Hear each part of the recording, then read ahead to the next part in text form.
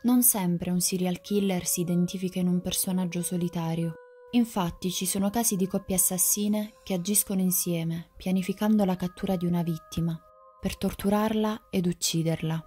Nella maggioranza dei casi sono partner e la natura dei loro delitti è prevalentemente di tipo sessuale. Secondo alcune analisi ci sono circa 2200 casi di omicidi commessi in coppia e le vittime solitamente sono giovani ragazze. Il caso di cui vi parleremo oggi è quello della coppia Bernardo Omolka, che suscitò un grande scandalo mediatico e vennero soprannominati la coppia Barbie e Ken.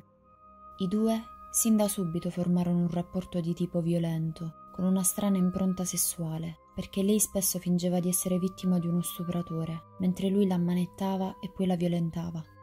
Ma nonostante ciò, il loro rapporto era insoddisfacente. Così Carla e Paul si spinsero oltre il limite dell'umano. Paul aveva delle strane perversioni sessuali. Infatti il suo sogno era quello di avere una fattoria piena di vergini, pronte a tutto per soddisfarlo, e queste depravazioni portarono Carla ad accettare tutto, pur di rendere felice il suo amato.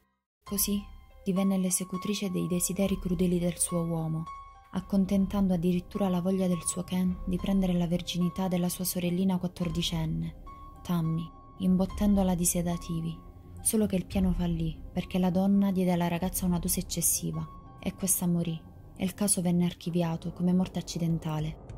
Questo purtroppo fu solo l'inizio di una serie di omicidi, perché da lì in poi ci furono altre due vittime, Leslie e Kristen, costretti a violenze atroci e a tante umiliazioni. E addirittura la violenza di una delle vittime venne filmata con molti particolari Nonostante gli omicidi erano stati ben occultati, il nome di Paul Bernardo venne alla luce dopo anni di indagini accurate su degli stupri successi anni prima, che lo condannarono al carcere.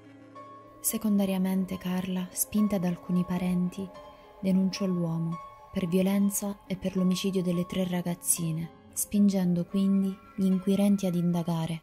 Così sia Carla che Paul vennero condannati, lei per complicità mentre lui per 53 aggressioni e per 3 omicidi.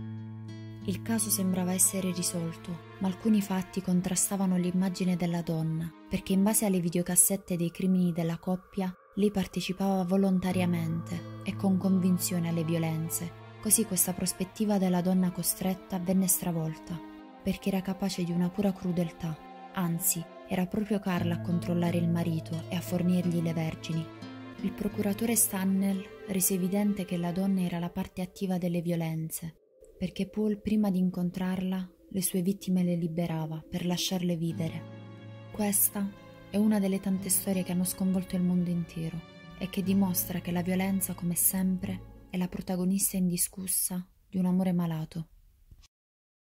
Uno e due viene per te tre, quattro, chiudi la porta, chiudi la chiave, non aprire, afferra il crocefisso e difenditi.